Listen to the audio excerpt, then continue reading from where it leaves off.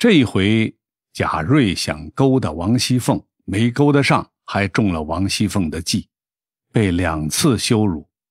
第二次没得逞之后呢，贾瑞在家满脑子想着王熙凤，不免指头儿告了萧伐。这个指头儿告了萧伐是什么意思呢？哎，其实就是指自卫。这句话出自元代王实甫的《西厢记》。张生是一心想和崔莺莺幽会，崔莺莺的贴身丫鬟红娘就对他说：“不如你先指头儿告了萧伐吧。”一个年轻小伙子。意淫自己喜欢的人，有这样的行为也不奇怪。不过这贾瑞勾搭自己的嫂子王熙凤，确实不道德。贾瑞他就得了相思病，病得越来越重，找大夫也治不好。后来冒出一个瘸腿的道士，说能治好他的病。贾瑞就说啊，赶快去请来那位菩萨来救命啊！菩萨救我呀！有些朋友听到这样的称呼，可能感到奇怪啊。来的是个道士，怎么能叫他菩萨呢？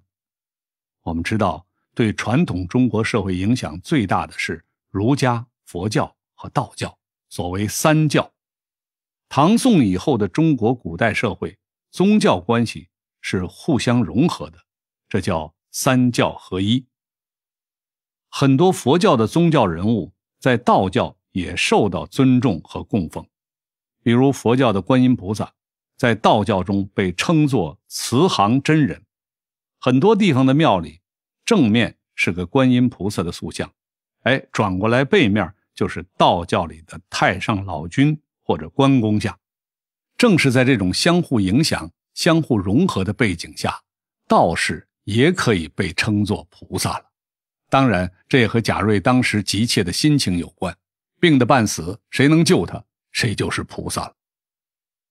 那道士啊，给了贾瑞一面镜子，让他不要照正面，只能照背面。结果贾瑞不听话，最终丢掉了性命。我们从书里都可以看到了。但是我们也可以通过贾瑞的葬礼，了解一些古代的丧葬仪式。例如“三日起经”，是指人死后的第三天，家属请和尚道士来念经超度亡灵。“七日发引”。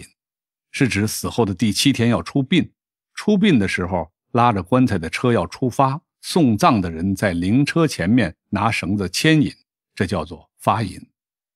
贾瑞的棺材被寄存在了铁槛寺，那为什么不直接埋墓地里头，还要在庙里放着呢？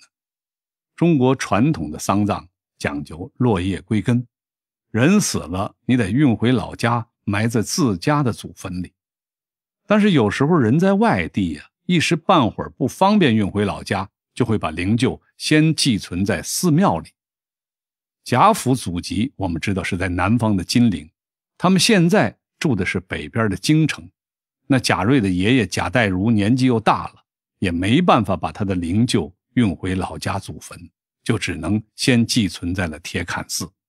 这个铁槛寺啊，后文马上就会再出现，不是一般的寺庙，就是贾府。自己的家庙，它本来就是为了预备家里人去世用来存放灵柩的。